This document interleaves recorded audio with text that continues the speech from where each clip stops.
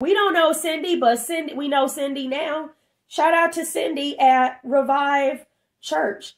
You know, we talked about how long we've been in uh, Missoula, what we like about Missoula, had a little jokey joke right quick, and uh, moved on. And typically, as outgoing as I am, sometimes I'm I don't really like want to have a conversation. Whether I felt like that or not, I felt like uh, the next time I see Cindy in the streets, I'm gonna say I'm gonna walk up to her and say hi.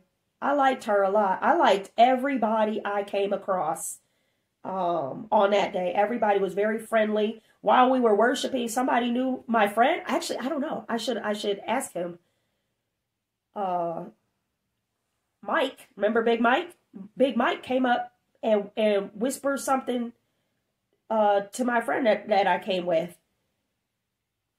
Wonderful, very welcoming. I would I would say that, and that is extremely important. Hello, in a church.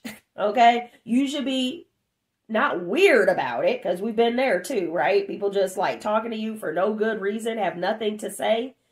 Strike a convert like a, a, a literal conversation with somebody. Don't just. How was your week? That's my least favorite question ever in church. How was your week? You know you have my phone number, Tabitha. Why didn't you call me on Wednesday? Now we get in here. You don't care. That's okay that you don't care, but I don't want to um, pretend. But I didn't get that feeling. Uh, people were very welcoming, and I had a strong appreciation. I'll, I will most definitely be back. I'll say that much. Anyway, so after the meet and greet, we get up